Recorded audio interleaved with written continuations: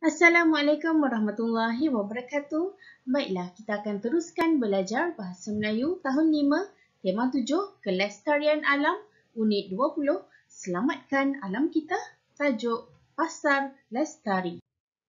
Kita akan belajar kemahiran mendengar dan bertutur standard kandungan 1.1, mendengar dan memberikan respons semasa berkomunikasi dalam situasi formal dan tidak formal. Standard pembelajaran 1.1.2 mendengar, memahami dan memberikan respons terhadap maklumat yang diujarkan dalam situasi formal. Objektif pembelajaran pada akhir pembelajaran murid dapat memberikan dua respons terhadap maklumat yang diajukan dengan betul.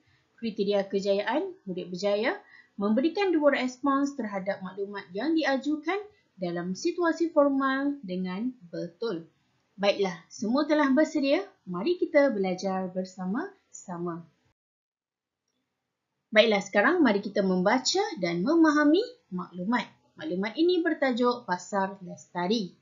Semasa aktiviti Kelab Lestari Alam, Cikgu Zakwan menerangkan cara-cara untuk menjaga kebersihan pasar basah. Baiklah, di sini kita dapat lihat maklumat tentang cara-cara untuk menjaga kebersihan pasar basah kita dapat lihat di dalam gambar ini dengan simbol pangkah iaitu tidak boleh menjalankan aktiviti penyembelihan di kawasan pasar basah. Selain itu, tidak boleh membuang sisa makanan dan sampah di merata-rata tempat. Sebaiknya kita melakukan aktiviti yang di dalam gambar ini iaitu kita perlu menggunakan beg mesra alam dan kita juga perlu mengasingkan sisa-sisa buangan. Baiklah, di sebelah kanan ini, mari kita laksanakan aktiviti pengkomposan bagi sisa makanan. Baiklah, lihat dalam gambar ini, sisa-sisa makanan dikumpulkan, diletakkan di dalam tong sampah. Seterusnya, sampah-sampah ini yang telah dikumpulkan tadi akan diangkut ke kilang pemprosesan. Setelah diangkut ke kilang pemprosesan, sisa-sisa buangan tadi diproses seterusnya akan dijadikan baja organik. Jadi alam kita tidak akan tercemar dan bumi kita akan sentiasa bersih.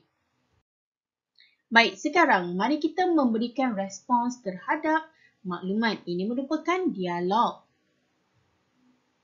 Sofia, mengapakah peniaga tidak dibenarkan melakukan aktiviti penyembelihan di pasar basah? Soalan ini diajukan oleh Afifi.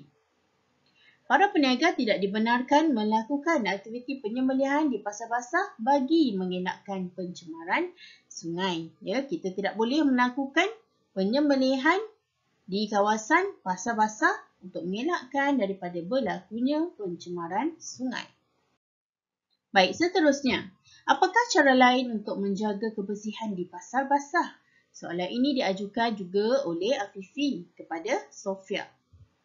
Antara cara lain untuk menjaga kebersihan di pasar basah ialah jangan membuang sampah di merata-rata tempat, menggunakan beg mesra alam serta membuat pengasingan sisa-sisa buangan mengikut jenis. Baiklah, ini antara cara untuk menjaga kebersihan di kawasan pasar pasar.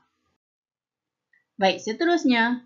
Afifi, bolehkah kamu terangkan proses pengkoposan sisa makanan kepada kami semua? Soalan ini diajukan oleh Dinesh kepada Afifi.